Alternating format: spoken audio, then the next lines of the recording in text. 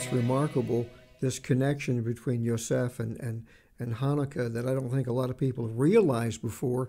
But you know, you talk, you went on at length about the value, the real value of, of you know, uh, basking in that flame of, of the Hanukkah light, and uh, I, I, it recalls what the prophet Ovadia said uh, about about the the end times, and that is that the house of Joseph would be aflame.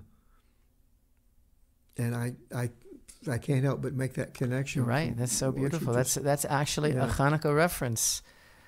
That's mm-hmm. a Hanukkah reference that because Yosef is the flame during these weeks, and Parshat Miketz is is so kind of like um, shrouded in mystery, in a way, because mm-hmm. it's it yeah. chronicles Yosef's rise to power, and it's so things are happening so fast, and it's all about the brothers coming down, and Yosef's behavior towards his brothers is the predominant uh, uh, concept, you know, that we're that we're dealing with in this parsha, and it it ends with such a cliffhanger because Yosef has a plan, and again, this is not this is not uh, the Godfather. this is we're not we're not reading about revenge and we're not reading about getting even. We're reading about a man, Yosef. He's a man, a tzaddik, who understands that Hashem is with him and understands that. that and I, I mentioned last again in last week's Torah video. Yosef, Chazal say Yosef had Ruach Hakodesh, divine inspiration, Hashem's hand on him from the time he was born until the time he died. He everything about him was totally steeped in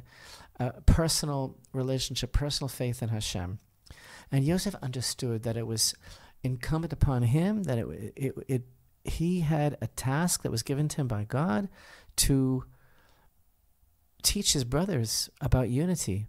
It's the it's yeah, the it's the exactly. culmination of and the fixing of the theme that's been that's been bothering us and recurring throughout the entire book of Breshit, and that is brotherly enmity. Yeah. Yosef fixes it once and for all in in in his story.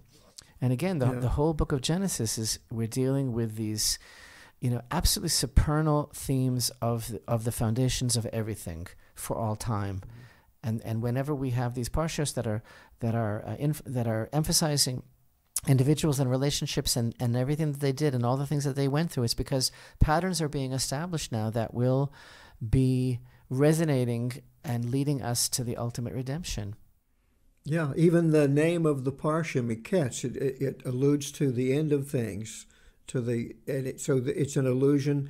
The whole events of this parsha are uh, a, a, key to understanding the the redemption, the the redemption to come in, in days, and may it come speedily. And I see, and obviously. Yosef is a kind of Mashiach. He saves the, the Mashiach ben Yosef. The, Mashiach ben Yosef, and it, it, even it even shows us that possibly when this figure arrives, that that his own Jewish brethren won't even recognize him at first, exactly. because he'll seem so uh, maybe Western in his ideas and his dress, and they'll think, well, who who is this guy? And they won't even recognize him when he arrives, even though he's standing right there in front of him. Yeah, exactly. That is so unbelievable. So true. Yeah. So it's good to see you, and uh, it's good, good to be to seen. See, good to see everyone, and uh, bless everyone with a beautiful, beautiful light-filled Hanukkah. Keep looking into that light, and drawing strength and inspiration. Have some quiet time and ask what the flames are telling you.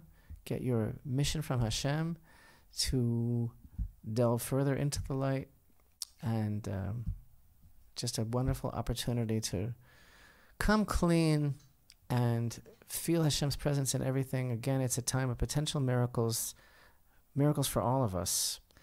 And that is a special time of prayer while the lights are burning, that all the gates are wide open. This is it. Don't waste the chance and have a wonderful, wonderful festival of light. Shalom, Amen. shalom. Chag Sameach.